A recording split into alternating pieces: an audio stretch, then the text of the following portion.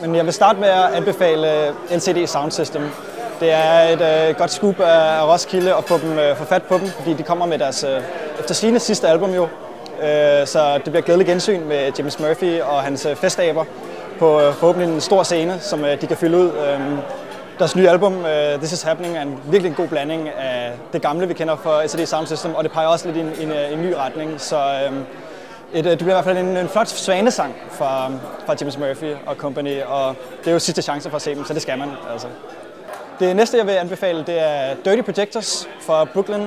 Og de spiller jo sådan noget øh, art rock, og det er jo sådan noget, man virkelig kan blive skræmt over, når man hører ordet art rock. Men øh, ligesom Animal Collective gjorde sidste år, så udgav de også et par album, øh, eller et deres 8. album. Øh, og det var ligesom Animal Collective meget, meget, meget, meget mere melodisk, øh, med meget mere fokus på melodien. Og i, i Dave Longstreth, som er deres forsanger, der har de bare en fuldstændig vanvittig og ekscentrisk øh, sangskriver og en virkelig, virkelig markant stemme, som øh, jeg glæder mig meget til at opleve. Det er mange, mange, mange år siden, de har spillet øh, i Danmark, så det bliver, det bliver virkelig fedt.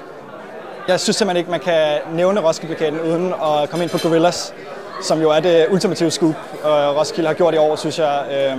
Både at de har fået det helt eksklusivt nærmest sammen med Coachella, men også bare, at Gorillaz har udgivet deres bedste album til dato, og fuldstændig fremragende spralsk album øh, i øst og vest genremæssigt, og det blev jo helt fantastisk at se, hvordan de formidler det live, øh, også med deres hele visuelle øh, image omkring det. Så det bliver, glæder mig helt sindssygt til at se.